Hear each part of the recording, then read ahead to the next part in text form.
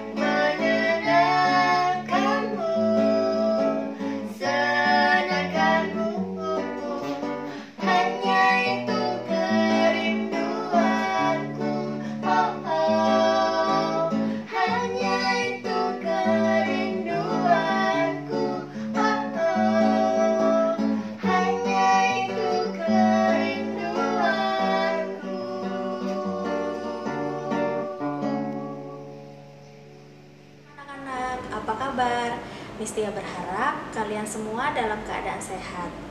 Nah, kemarin kita sudah mendengarkan renungan yang dibawakan oleh Bu Devi. Hari ini kita akan bersama-sama mendengarkan renungan dengan judul Saling Mengampuni dan Menguatkan. Bacaan hari ini diambil dari Lukas 23 ayat 34. Mistia akan membacakannya untuk anak-anak. Ya Bapa, ampunilah mereka, karena mereka tidak tahu apa yang mereka perbuat. Nah, anak-anak, sebentar lagi kita akan merayakan Paskah. Tapi sebelum itu, mari kita bersama-sama mengingat kembali peristiwa di mana Tuhan Yesus mengorbankan dirinya untuk kita di kayu salib. Setelah melewati proses pengadilan yang panjang, akhirnya di hadapan Pilatus, Tuhan Yesus dijatuhi hukuman mati. Padahal Tuhan Yesus tidak bersalah. Lalu Yesus dibawa ke Bukit Golgota untuk disalibkan.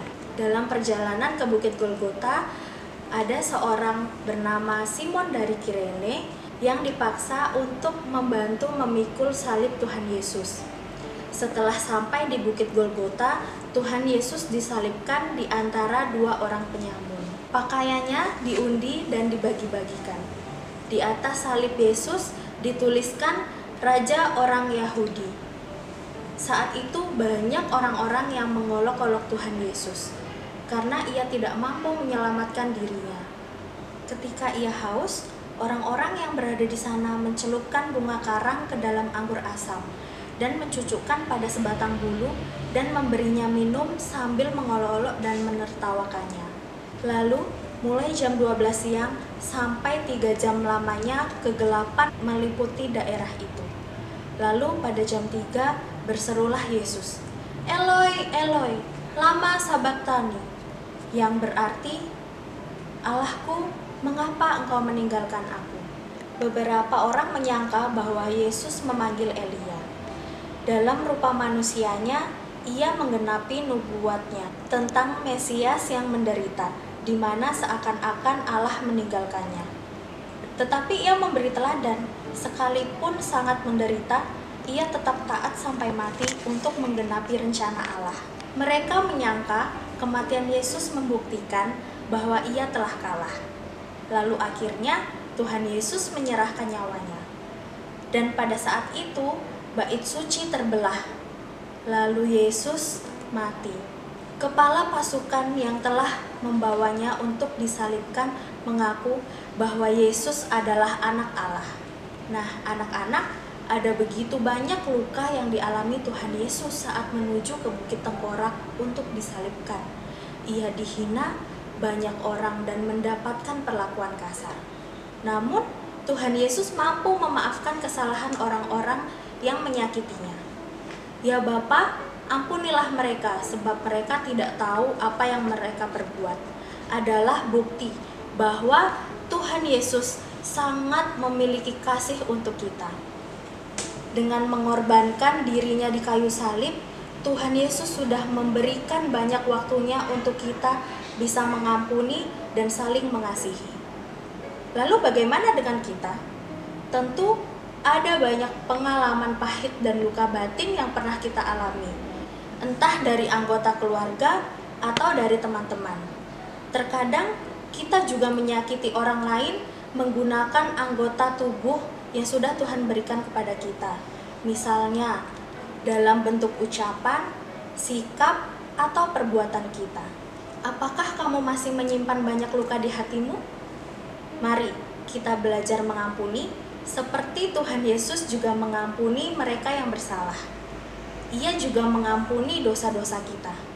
Selamat merayakan perdamaian dengan banyak orang melalui pengampunan yang kamu berikan. Tuhan Yesus memberkati.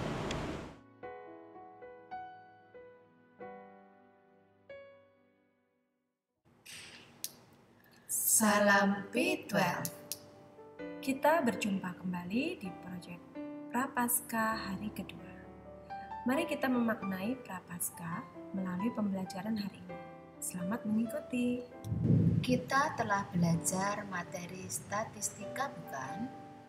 Saatnya kita akan menerapkan manfaat pembelajaran statistika dalam kehidupan sehari-hari. Statistika adalah ilmu yang mempelajari cara merencanakan, mengumpulkan, menganalisa, lalu menginterpretasikan, dan akhirnya mempresentasikan data tersebut. Kita belajar statistika untuk menganalisa hidup kita. Sehingga dari analisa tersebut, kita bisa mengetahui grafik dari kehidupan kita untuk kemudian menentukan langkah yang kita pilih untuk bisa kita perbaiki. Sekarang, coba kalian mempraktekkan. Dalam satu minggu ini, kalian mencoba untuk mendata tentang kegiatan kerohanian yang kalian lakukan. Kemudian, kalian buat dalam bentuk tabel data seperti contoh berikut ini. Misalkan kegiatan yang kalian lakukan adalah berdoa, membaca Alkitab, memuji nama Tuhan, menaati nasihat orang tua, membantu orang tua, serta beribadah. Kalian hitung kegiatan tersebut selama satu minggu, berapa kali atau berapa frekuensi dari kegiatan tersebut. Coba kalian perhatikan contoh tabel yang sudah ibu buat seperti yang tertera di bawah ini. Misalkan berdoa selama satu minggu frekuensi berdoa ada 10 kali berdoa. Membaca Alkitab ada dua kali. Memuji nama Tuhan sebanyak 8 kali. Menaati nasihat orang tua ada 8. Membantu orang tua enam kali dan beribadah empat kali. Nah, setelah kita memperoleh data tersebut, maka kita bisa membuat diagram berdasarkan tabel yang sudah ada. Kalian sudah mempelajari tentang diagram batang. Nah, kita akan membuat diagram batang dari data tersebut. Coba perhatikan, diagram kegiatan rohani dalam satu minggu.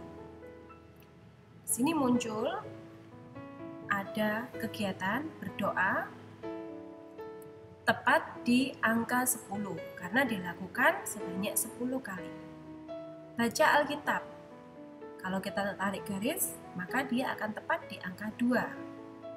Memuji nama Tuhan di angka 8. Menaati nasihat orang tua juga 8. Membantu orang tua ada di 6 dan beribadah ada di 4. Coba perhatikan diagram ini. Kalau kita amati, maka diagram kegiatan rohani dalam seminggu ini yang paling sedikit atau yang masih kurang yang dilakukan adalah kegiatan membaca Alkitab.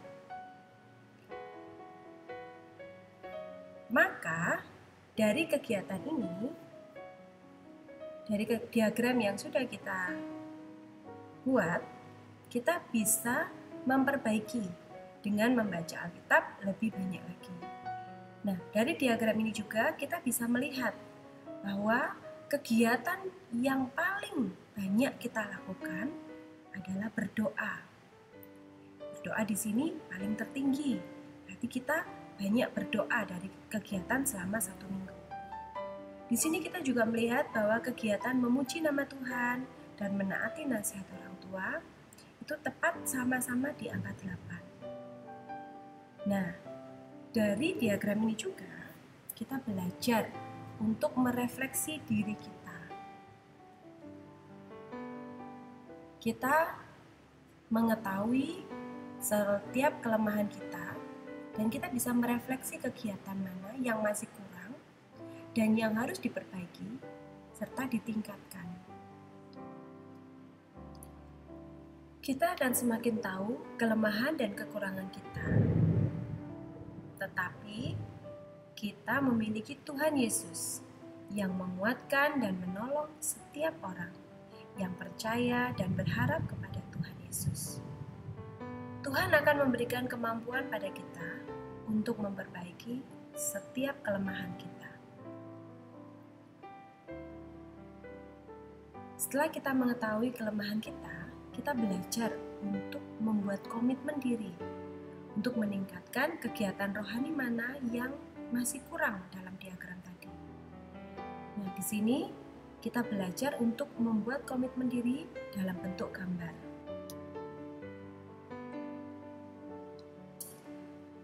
Sediakan kertas gambar atau HVS ukuran 15 cm dan 11 cm. Kemudian kalian gambarkan komitmen diri. Misalkan dari diagram tadi, Yang kurang adalah bagian dalam membaca Alkitab. Maka kita bisa membuat gambar komitmen yang akan kita lakukan tentang orang membaca Alkitab. Nah, kalau sudah, kalian boleh mewarnainya sehingga lebih menarik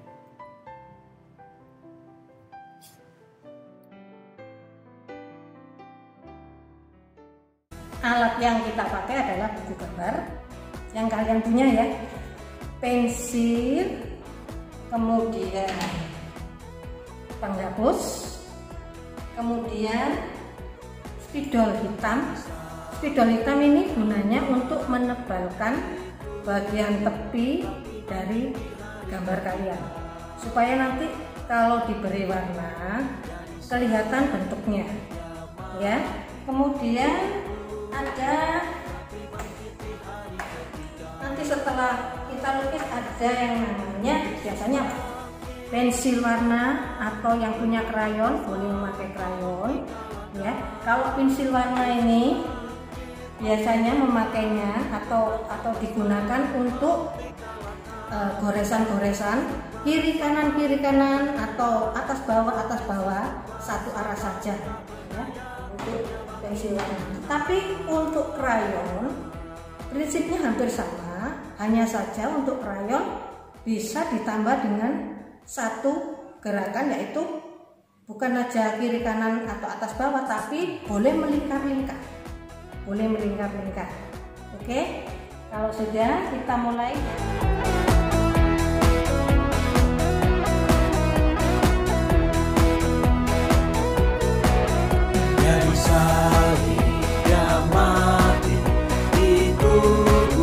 Tapi bangkit di hari ketiga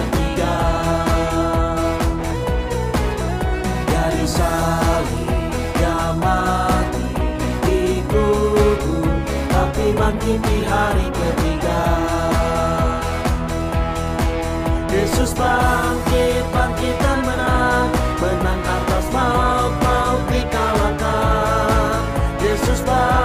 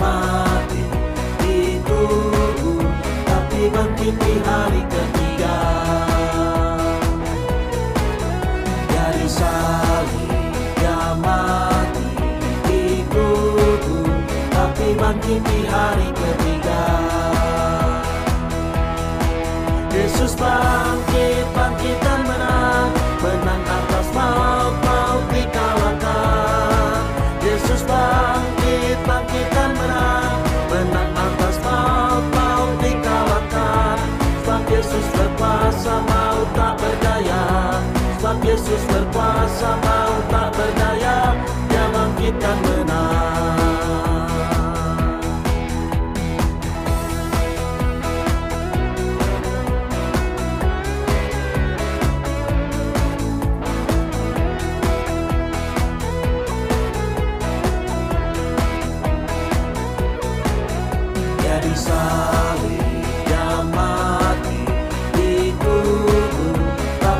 me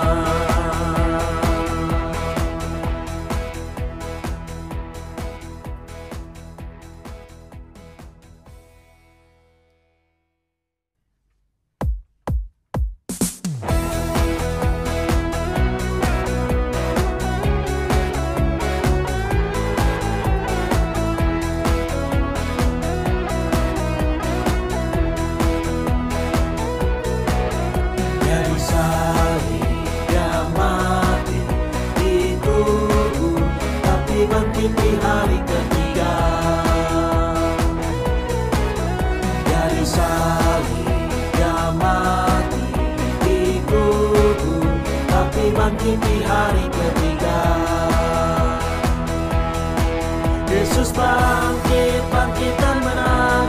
Menang atas maut, maut dikalahkan Yesus bangkit, bangkit dan menang.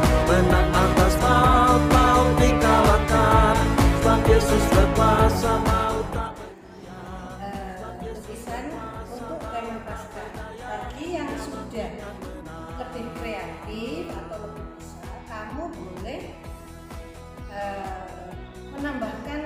ini sendiri dan harus lebih baik dari tuan ya. Anak-anak yang dikasihi Tuhan, demikianlah pembelajaran kita hari ini. Miss Tia mengajak anak-anak semua untuk mengerjakan beberapa proyek. Lalu hasil karyamu jangan lupa difoto beserta dirimu. Setelah itu diupload di Google Form di kelas masing-masing. Kami tunggu hasil karyamu. Demikianlah Papa Mama, kami mengucapkan terima kasih atas dukungan Papa dan Mama untuk pembelajaran hari ini. Sampai ketemu di pembelajaran berikutnya. Terima kasih dan Tuhan Yesus memberkati.